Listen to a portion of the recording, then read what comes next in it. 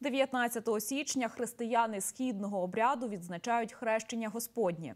Свято відоме своїми цікавими традиціями освячення води та купання в ополонці. Як цьогоріч відзначали цей день у Вінниці, бачив Максим Березюк.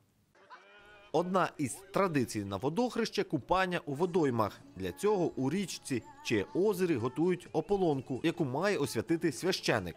Далі вже люди з молитвою занурюються у крижану воду. Вважається, що така процедура очищає душу і тіло. Для більшості ця традиція вже увійшла у звичку.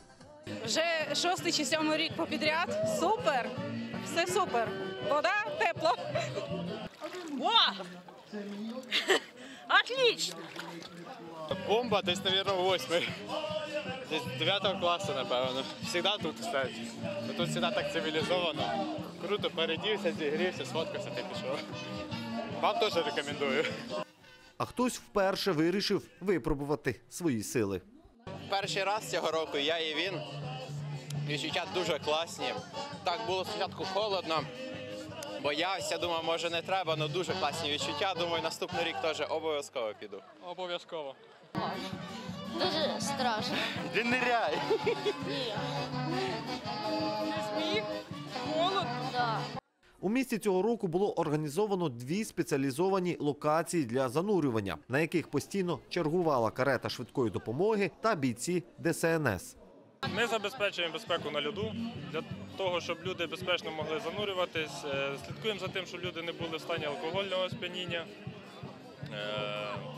Для цього в нас є на всякі випадки, що буде потрібно лодка, рятувальні жилети, кільнець Олександрова, рятувальна мотузка, круг.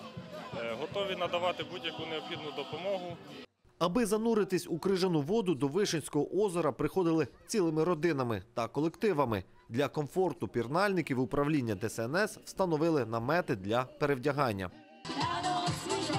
Ось уже 10 років я не зраджую свої традиції. І хочу сказати на власному досвіді. Це абсолютно не страшно. Головне дотримуватись певних правил